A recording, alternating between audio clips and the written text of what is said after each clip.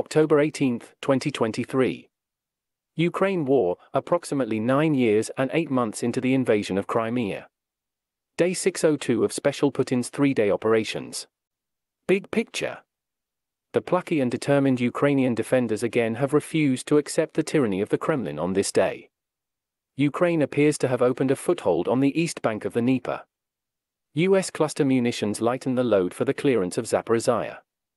Ukraine reports 64 combat engagements in the last 24 hours. Dnieper line. Kremlin mouthpiece Rybar, translated fisherman, has reported that Ukrainian troops have made a small bridgehead into the right bank.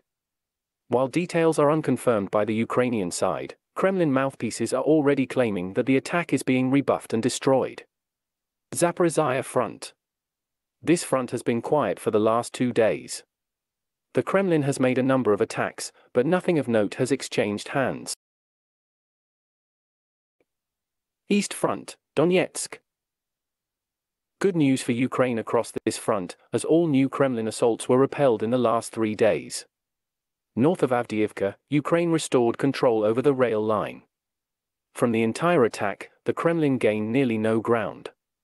The small tree lines gained came at the cost of an estimated 150 tanks, 50 to 80 artillery pieces, 150 armored vehicles of all types, at least air vehicles, and far worse, 4,500 infantry permanently out of combat.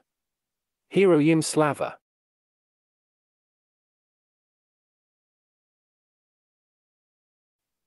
Bakhmut area.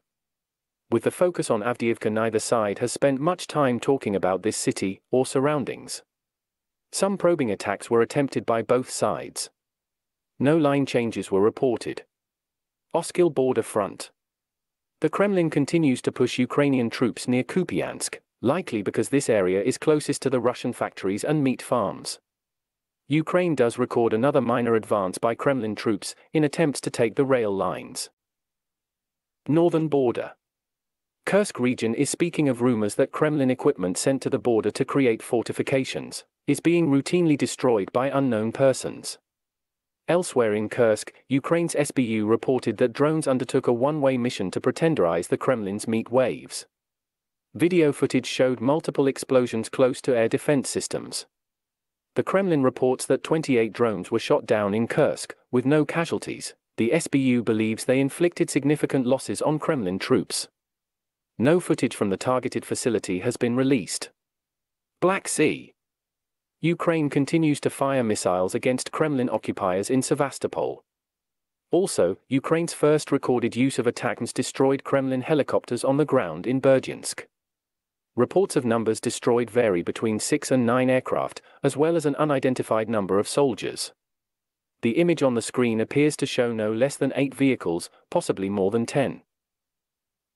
Video footage, which may have been from the field, only clearly shows three different fires, but each with multiple rocket munition cook-off events suggesting nearly random damage.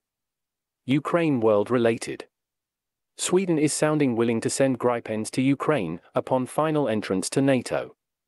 As noted last week, Germany sent an aid package worth 1 billion euro and is finalizing legislation to help Ukrainian refugees enter the German workforce.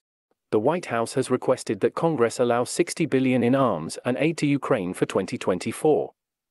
We aim to bring more. Like and subscribe.